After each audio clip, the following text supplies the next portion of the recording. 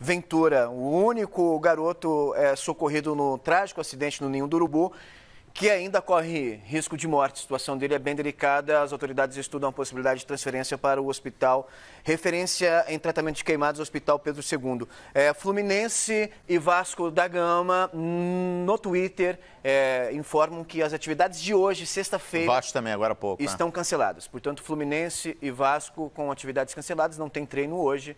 É, o pessoal realmente é, se solidarizando ao Flamengo. Aí a conta, já Lucas Paquetá, Lucas né, Lucas Paquetá. É, certamente, certamente, é, em algum momento da passagem dele pela base do Flamengo, deve ter também é. ficado num desses alojamentos, né? Que Inclusive, Vinícius Júnior, agora há pouco, ele revelou. É, acho que, que, tem aí, né? em algumas noites ele dormiu. Dormiu lá. Nesse alojamento. Enfim, é uma tristeza realmente muito grande. Está aí, ó, conta oficial do Vasco também. Uhum se solidarizando com o Flamengo. Mais cedo conversamos com o presidente do Fluminense, Pedro Abad, também manifestando toda a solidariedade do Fluminense, enfim, todas as condolências.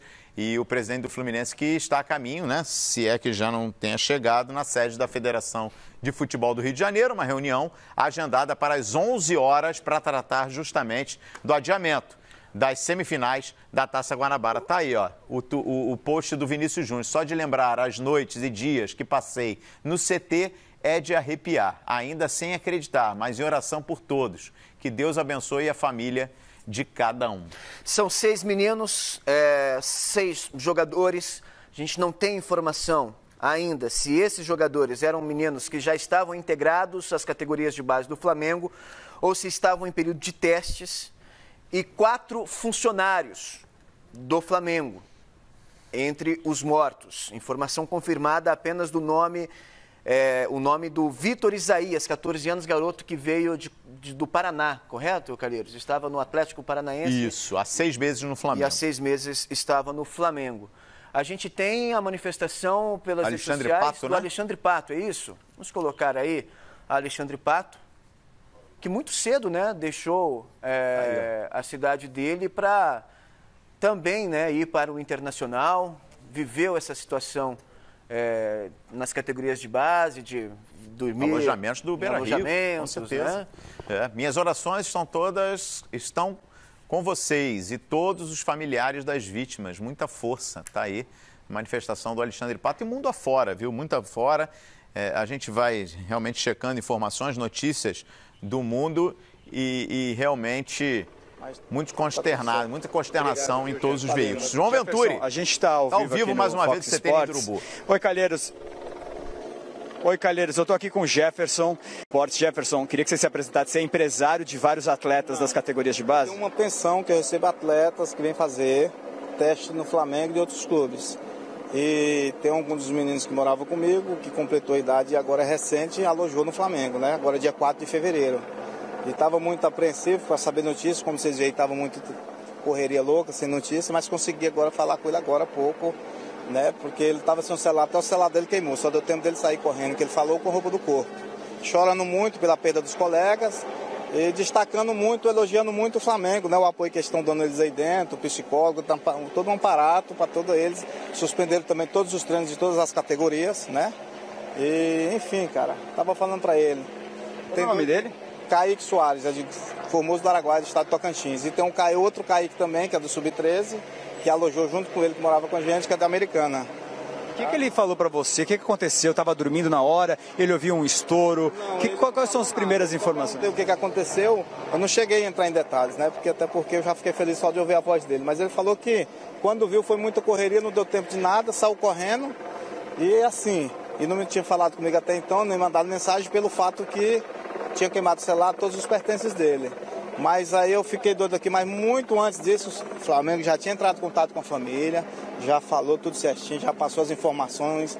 Inclusive quando eu liguei para os pais, os pais já estavam sabendo que o pessoal todo, a, a cúpula, né, o pessoal que trabalha na assistência social, todo um trabalho excelente, está fazendo esse trabalho de avisar para os pais o que se passa, né? Ele disse quantas pessoas estavam no quarto junto com ele na hora Não, do Ele disse que perdeu três coleguinhas da categoria dele que morreu, né? Mas aí eu não, não entrei em detalhes, até porque eu estava muito emocionado, cara, chorando muito. E eu falei, meu filho, você veio de novo, te tá aqui fora, manda um vídeo, ele ficou de fazer um vídeo para mandar pra gente, né? Confortar mais os pais, o pessoal até também de Tocantins pedindo informação, mas graças a Deus, né? E fico muito triste que se vir concretizar os nomes que passaram para a gente, que eu não posso afirmar, até porque eu não, né, eu não, eu não posso afirmar questão de ética e também não, não, posso afirmar porque é o bombeiro que vai confirmar. Mas sai uma lista aí, do, dessa lista lá, se for confirmado o que me mostraram, que eu vi agora há pouco, dois dos que moram comigo também veio a óbito infelizmente, né? Que horas ele deve sair daqui do CT? Que horas você está esperando ele para recebê-lo? Eu, assim, questão de, assim, até mesmo, né, da metodologia de trabalho dos psicólogos, essas coisas, a gente não, tem um, um, certo, até porque eu estou em trauma, né? Você pode ver com os meninos de 13, 14, 15 anos acontecer isso. A minha vontade era agora, entendeu?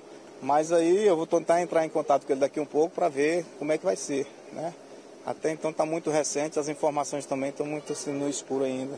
Já falaram com a família dele lá no Tocantins? Já falei agora com a família dele, já falei com o pai, já falei com a mãe, mas antes de eu falar com eles, o pessoal do Flamengo volta a falar, já tinham ligado, já tinham passado todas as informações, já tranquilizaram, fizeram todo um trabalho, inclusive com os psicólogos que estão tá aí dentro, está tendo todo um trabalho de aparato e suporte para eles, entendeu? Quanto tempo ele estava no Flamengo? Ele já vai fazer dois anos, completar dois anos. Entendeu? Ele estava fazendo teste aqui Não, ou já, já, já, já morava? Jogava, já morava. Ele morou comigo. Aí completou a idade, veio agora e alojou, entendeu? Alojou essa turma toda, a maioria deles agora, dia 4 de fevereiro. Foi agora, recente, entendeu? E a mãe dele não estava querendo, por ela ele não ia alojar e tal, mas graças a Deus não aconteceu nada, né, cara? Infelizmente, a gente, muitas vezes, o que eu falo em casa, a gente tem que viver o hoje. Quanta coisa acontece nesse Brasil, né? A gente está faltando mais amor pelos outros, a gente não é ninguém aqui, só estamos de passagem. Então, que a gente puder curtir, seus filhos, né? Sua família, perdoar, faz tudo hoje, não deixa para amanhã, porque dos que morreu, teve esses dois dias aí, me abraçou, e aí, tio, tudo bem? Aquela coisa, cara, sabe, eu dá um nó, cara, porque eu vou te falar, a gente não sabe daqui um segundo, dois segundos que vai acontecer com a vida, entendeu? Eu peço assim a todos aí que ame mais, perdoa mais.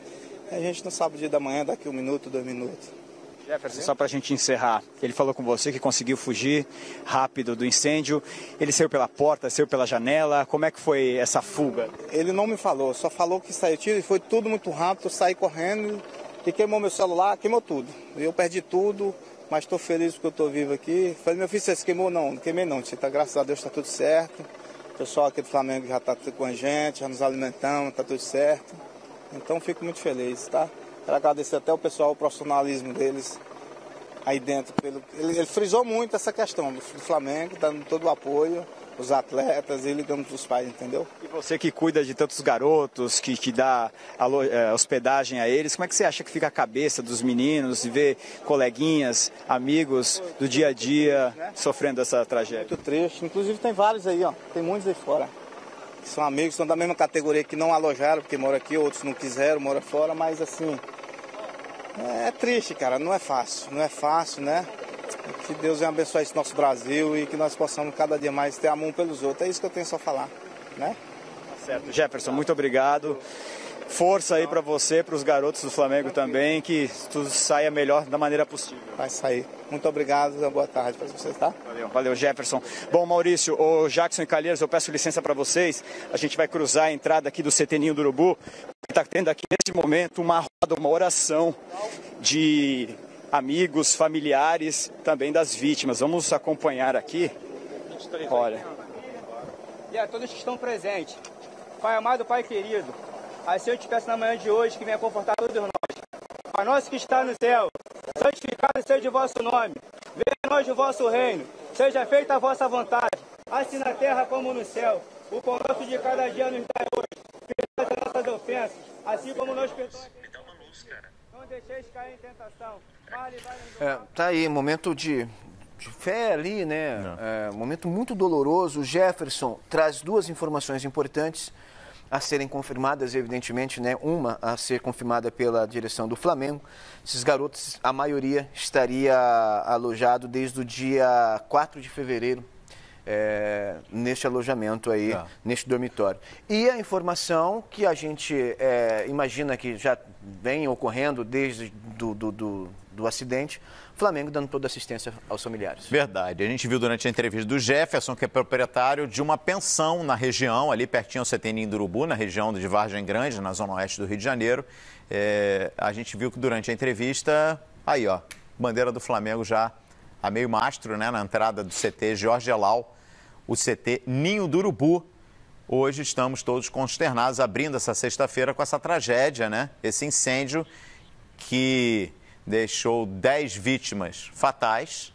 Entre essas vítimas, seis crianças das categorias de base do Flamengo, quatro funcionários e três crianças internadas, duas em estados mais instáveis, né? Exato. E uma em estado gravíssimo. A gente está acompanhando informações ao vivo no CT Ninho do Urubu, também no Hospital Lourenço Jorge com a Daniela Boaventura. Já já a gente tem outras informações, a gente vai para uma